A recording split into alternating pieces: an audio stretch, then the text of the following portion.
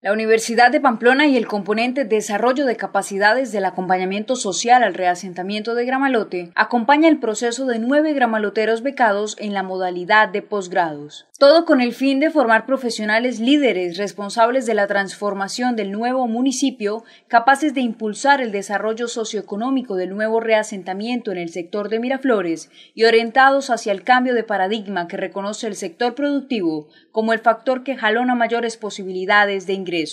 eh, ¿La idea cuál es? ¿El objetivo cuál es? que al terminar sus estudios de especialización ellos tengan la capacidad, que hayan adquirido las herramientas para plantear propuestas específicas de desarrollo eh, local, específicamente en, el sitio de, impacto donde ellos elaboran, que es el municipio de Gramalote. Los profesionales gramaloteros reconocen que no es suficiente solo adquirir conocimientos, sino ponerlo aprendido en práctica y ser capaces de aplicarlo desde ya, trabajando en los proyectos que desde su área pueden aplicar en el nuevo Gramalote. Muy agradecido pues con, la universidad y más que todo con el proyecto de acompañamiento social que nos dio la oportunidad de, cursar esta especialización en desarrollo económico regional